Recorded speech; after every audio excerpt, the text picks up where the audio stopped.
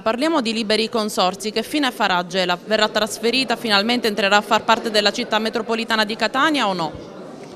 Guardate, questo decide al Parlamento, noi la legge l'abbiamo fatta, la prima è stata approvata, abbiamo riconosciuto la validità del referendum di Gela come governo, abbiamo presentato la legge all'ARS, al Parlamento siciliano, però lì decidono i 90 deputati il governo, la giunta regionale ha approvato, non so come finirà in Parlamento sinceramente ma di questo non posso, non posso decidere io. Vuole condividere con noi il suo punto di vista? Cosa desidererebbe lei? Io, io desidererei che Gela cominciasse a lavorare per diventare essa capoluogo di un libero consorzio, poi la vicenda è chiaro va rispettato comunque l'esito del referendum che ha previsto il passaggio all'area catanese però ripeto cominciamo a lavorare per fare Gela capoluogo